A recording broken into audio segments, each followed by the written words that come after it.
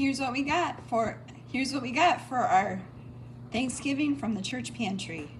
A 14 pound turkey, eggs, five pounds of russet potatoes, two pounds of apples, a stuffing mix,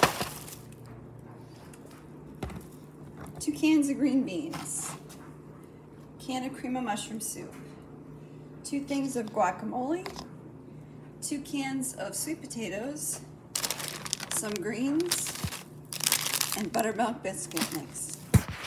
Such a blessing Thanksgiving dinner.